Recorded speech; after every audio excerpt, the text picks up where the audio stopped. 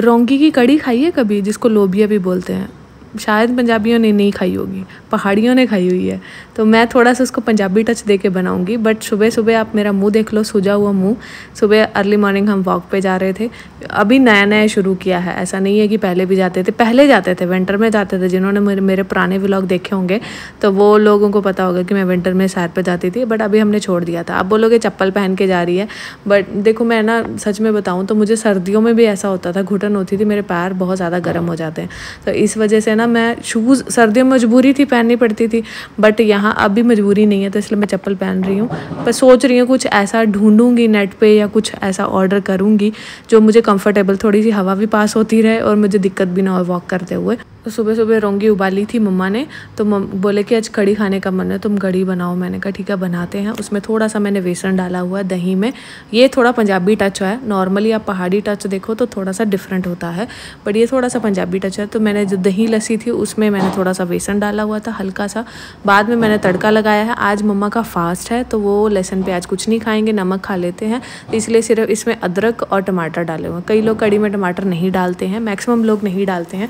But जो जो ये वाली मैं बनाती हूँ ना, इसमें डालती हूँ और मेरे पापा को ससुर जी को बहुत पसंद है। नॉर्मली अगर उनको पकौड़े वाली कड़ी दो जो पंजाब में बहुत ज़्यादा फ़ेमस है, वो दो तो उनको बहुत ज़्यादा गर्म लगती है। Mostly end of the story ये है कि घर में वही बनता है जो सब लोगों को पसंद है, वो सब लोग खाते हैं। मतलब सब लोगों को देख के, उनके टेस्ट के अकॉर्डिंग उनकी हेल्थ के अकॉर्डिंग बनाया जाता है। तो कड़ी रेडी हो गई है। ये बहुत ज़्यादा मतलब पहाड़ों में तो बहुत ही ज़्यादा खाई जाती है। मतलब जिसके घर में धाम हो तो कहते हैं, ये बनी हो ना तो सब लोग ऐसे चटोरे की तरह खाते हैं। मैं भी कई बार खा लेती हूँ। बट उसमें ना ओरिया डालते हैं। वो बहुत तिखी सी लगती है मुझे। सो so, जिसने नहीं डाला वो मैं खा लेती हूँ। जिसने डाला वो मैं नहीं खाती। मैंने जामुन खाए थे। उसके बाद मैं सोच रही हूँ कि भूख नहीं है मुझे अभी। रुक के खाती हूँ। क्योंकि मेरा मन है कि कड़ी बनी है तो उसके साथ चावल खाऊँ।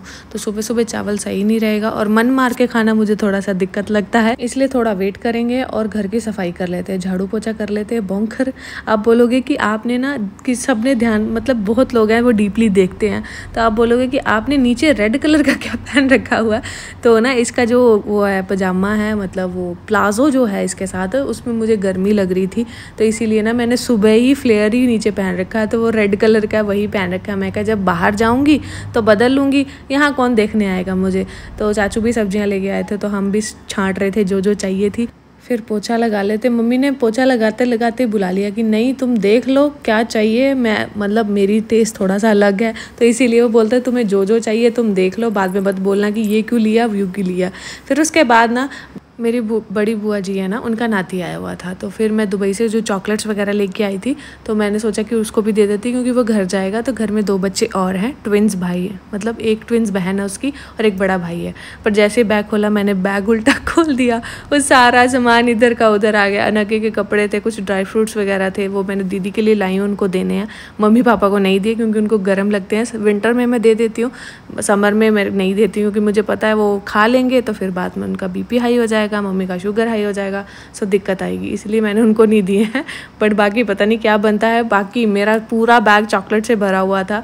लिटरली सिर्फ़ एक पैकेट बचा, बाकी सारा का सारा ख़त्म हो गया, सारा बट गया है। तो मम्मी बोल रहे थे कि दीदी के लिए रखा है, मैं कहा, एक पैकेट रखा है। वो उन्होंने वहाँ भी बहुत सारे मतलब उनके जो पड़ोसी हैं, सब जानते हैं कि यहाँ से चॉकलेट्स वगैरह आती, उनको सबको बहुत ज़्यादा पसंद है वो। तो इसीलिए उनको वेट होता है कि जब यहाँ से चॉकलेट आएगी तो बांटी जाएगी तो एक पैकेट से कुछ नहीं होगा। तो दीदी जब अभी आए बीच में, इनके आने से पहले हस्बैंड के आने से पहले तो उनको मैं दे दूँगी, बोलूँगी कि आप मैनेज कर लो।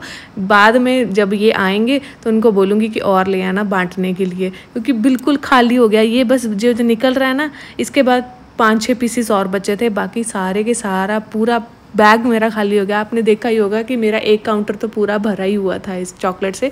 उसके बाद मैं फिर ख़रीद के लेके आई थी। दूसरा बैग जो था मैं लेके आई, उसमें भी चॉकलेट्स पड़ी हुई थी। ड्राई फ्रूट्स थे नट्स थे। उसके बाद क्या था खजूरें थी। खजूरें तो बहुत ज़्यादा मतलब मंगवाते हैं स्पेशली बोल के। खाते नहीं हैं अभी। समर में नहीं, कोई खाता विंटर में ही खाते हैं बट सब मंगवाते हैं। तो कुछ मैंने निकाल के उसको दे दी थी बच्चे खा लेंगे। उसके बाद मैंने अनगे को दी कोकोनट की थी। वो बोलता, नहीं, मुझे क्यों दी? मुझे दूसरी वाली दो। उसको जो पसंद है, वो मैं लाना ही भूल गई हूँ। तो मैं देखती हूँ, इनको बोलती हूँ कि आते हुए ले आना। बाकी ये मैं बिस्किट भी लेके आई थी, chocolate biscuit, dark chocolate biscuit. तो वो भी मैं क्या दे देती वो यहाँ भी मिल जाते हैं। बट एक्चुअली जो दुबई का टेस्ट है ना, वो थोड़ा सा डिफरेंट है। बहुत लोग दुबई की चॉकलेट्स को बहुत ज़्यादा पसंद करते हैं। कसम से मैंने एक बार भी नहीं खाई। एक बार भी नहीं खाई। जब मैं फ़र्स्ट टाइम मैंने ट्रैवल किया था, मैं सिंगापुर गई थी, जब मेरी शादी के बाद, तब मैंने वहाँ पे ना एक चॉकलेट खाई थी, मुझे उसका नाम नहीं याद है। मैंने आते जाते ना ट्रैवल के टाइम छः घंटे का ट्रैवल होता है अमृतसर से छः साढ़े छः का। तो मैंने वो इतनी खाई, उसके बाद मेरा इतना मन ही मर गया, मैंने आज तक दुबई में कोई भी चॉकलेट ट्राई नहीं की। टॉबलोरन एक बार थोड़ी सी खाई थी, पर उसके बाद छोड़ दी। मेरे को अच्छी नहीं लगती, कहते हैं ना, मुँह आना गई, बस वही साव है। उसके बाद ना मैं ये चावल देख रही हूँ, मैंने मिलट के चावल बनाए हुए थे। मेरे को लगा कि दूसरे खाने से सबसे बेस्ट है ये खा लो और मुझे ये बहुत ज़्यादा अच्छे लगते हैं। मतलब आप ट्राई करना, बिल्कुल ही चावल वाला टेस्ट आता है और सबसे ज़्यादा हेल्दी होते फाइबर होता है इसमें बहुत ज़्यादा। तो ट्राई करना यहाँ मिल जाते हैं। मतलब मैंने ऑर्डर किया था तो अगर यहाँ मिल जाते हैं डिलीवरी हो जाती है तो मतलब कहीं भी हो जाती, क्योंकि हमारे यहाँ बहुत मैंने सफ़र किया है, बहुत ज़्यादा सफ़र किया है डिलीवरी का, क्योंकि डिलीवरी नहीं करते थे। बहुत ज़्यादा दिक्कत होती थी डिलीवरी नहीं होती थी तो मुझे फिर दीदी के यहाँ डिलीवर कराना पड़ता था। फिर वहाँ से दीदी बस के हाथ पैसे मतलब देते थे, बस वाले को फिर सामान आता था। कई बार कोई नॉन हो तो फ्री में ले आता था। बट दिक्कत होती थी दीदी को, बच्चे हैं, उनके रोड पर जाना, गाड़ी वाले को सामान देना, फिर यहाँ पहुँचाना बड़ा मुश्किल होता था। बुआ बुआ जी का नाती, मेरी ननंद का बेटा आया हुआ था तो पहले उसको खाना खिलाया, फिर वो बोला कि मुझे मैगी खानी, मैंने मैगी बना दी दोनों के लिए, उसके बाद अपने लिए सोयाबीन सोटे की थी।